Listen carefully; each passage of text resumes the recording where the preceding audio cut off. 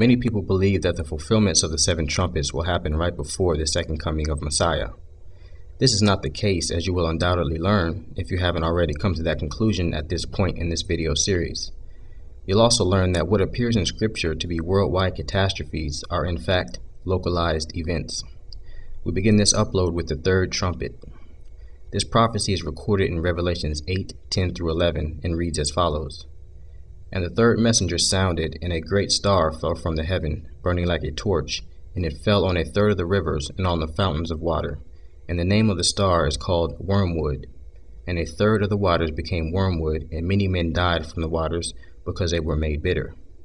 Interestingly, the Ukrainian word for wormwood is Chernobyl. Chernobyl is the city in Ukraine where the worst nuclear accident in human history occurred on April 26, 1986.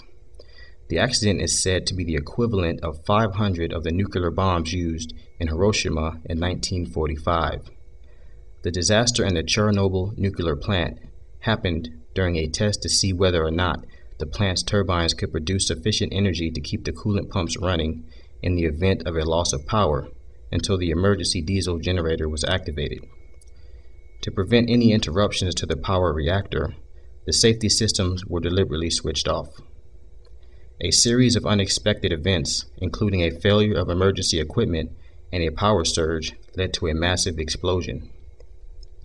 The first explosion blew the 2 million pound lid off the reactor. It came back down cocked, leaving the atmosphere exposed to a full nuclear fire for the next three weeks.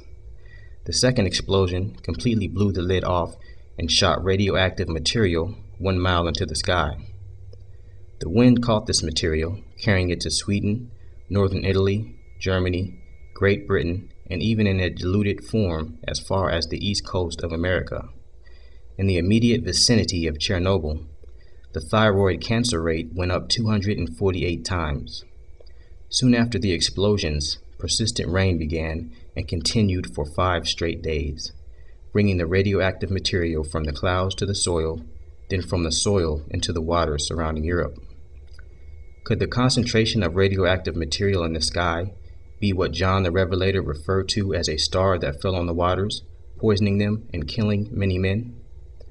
Those drinking the waters absorbed the radioactive material cesium-137. Cesium-137 has a half-life of 30 years. 125,000 plus people have reportedly died from drinking the water. 2 million plus are reported to be infected, thousands of which have and will meet an untimely death. Ladies and gentlemen, the third trumpet did indeed sound in 1986.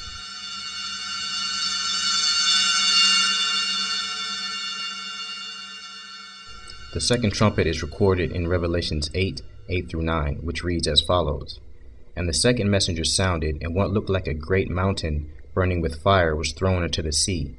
And a third of the sea became blood, and a third of the living creatures in the sea died, and a third of the ships were destroyed. Again, recognize that these seemingly worldwide catastrophes are in fact localized events. Take also into consideration John the Revelator, this man was a second century person, seeing the events of today's technological age. His frame of reference was drastically limited to describe absolutely what he saw. This is a picture of an atomic explosion. This is a picture of Japan. This is the number of ships that participated in World War II. This is the number of them that were destroyed almost one third. So let's recap. And what looked like a mountain burning with fire was thrown into the sea, and a third of the ships were destroyed. What's being explained here is the bombing of Japan during World War II. And although proving whether a third of the living creatures around Japan were destroyed and what John meant by blood might be hard to do, remember, John was in the spirit giving an instantaneous understanding of things. Though something is lost in this second century perspective interpretation, World War II is what is being described here. Ladies and gentlemen, the second trumpet.